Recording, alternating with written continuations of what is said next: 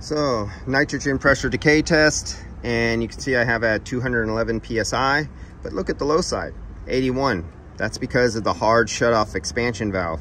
So I got 211 PSI on the high side, but what makes it through the expansion valve, it stops at 81 PSI. Then, so this is the piece of shit aftermarket condenser, the second one. I got the technician over here and he fought with it and he just fought the shit out of it. And he finally, by through force, I wonder if they damaged the O-rings, but through force, he was able to get the OEM pipe and the OEM fitting and O-rings and the OEM clips because they went and purchased from Honda, oops, the OEM clips because the piece of shit aftermarket condenser didn't come with it. And this is the model number. This is the company that you do not want to buy for this condenser for this vehicle. It's an Absolute and see who distributed it. This is who distributed it. So we know exactly what the hell's going on here. Toyota Yaris. It's a piece of crap. These are the OEM clips that they got on there that he could barely, both of us were hitting and shoving on it to try to make that fit in this aftermarket piece of shit. He finally got it in there the second time. I pressurized it and it's not leaking now. So this is a uh, item to not uh, purchase. And let me get this back to one inch. So if I get this back to one inch, there's one inch. Check this shit out. Okay, let's get back to one inch. So we're gonna count the fin count on this sucker. And my eyes are getting real bad. It's easier because these fins are so big, it's easy to count, but on the OEM one, it's hard. So we got two, four, six, eight, 10, oh, I lost count. 2, 4, 6, 8, 10, 11, 12, 13, 14, 15. We have 15 fins in one inch.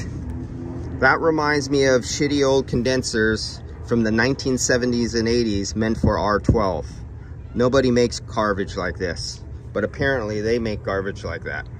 So you, we know we have some scum-sucking salesmen selling crap on the market that shouldn't be there. Let's go, oh, I hit it, god damn it. Let's go to the OEM. Let me place it right at one. And do I have, no I don't. Do I have a pointing device? Because my eyes, these fins are so small, I could barely see. And yes, I have nitrogen in there.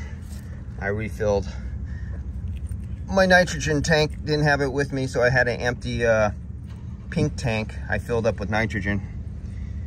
And because it had a broken one-way valve, and so I could repressurize it. Not supposed to do that, but I did it. Oh well. So let's look right here. We got one inch, and let's count right where we're at the first fin. So every time you got one, two, and every time it goes up and makes a U right there, you see that? That's two fins. So let me take my sunglasses off because I'm really squinting to see this. Let me move that back. I'm having issues here. Right there. So we got two, four, six, eight, ten, twelve, fourteen, sixteen, eighteen. 20 only to 21 it only made it to the bottom of the next one we have 21 fins per inch compared to that garbage there. All right. So the same goes with the coolant passages coolant passage tubes. Same thing goes right there. I'm to count up the coolant passage tubes. Uh, it probably comes close, but so far the fit and finish on the connector is garbage. The fin count is garbage. The company is garbage. And if you're a distributor and you distributed that, you're garbage. All right, I'll see you.